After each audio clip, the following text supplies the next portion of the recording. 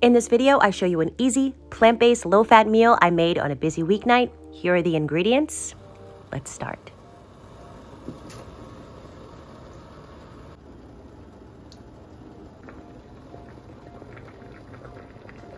You're gonna break up the noodles.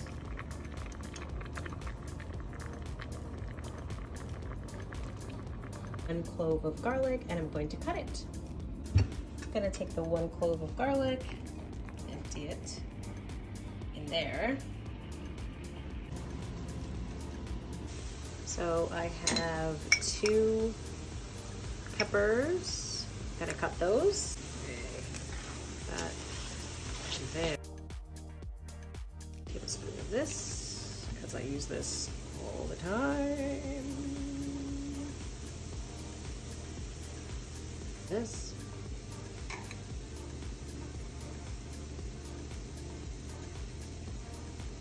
Tiny bit of syrup.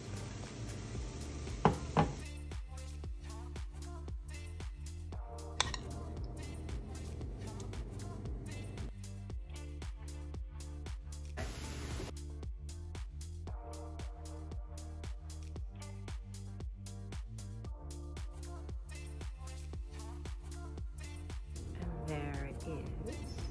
After my busy day at work, this is my quick meal. So good.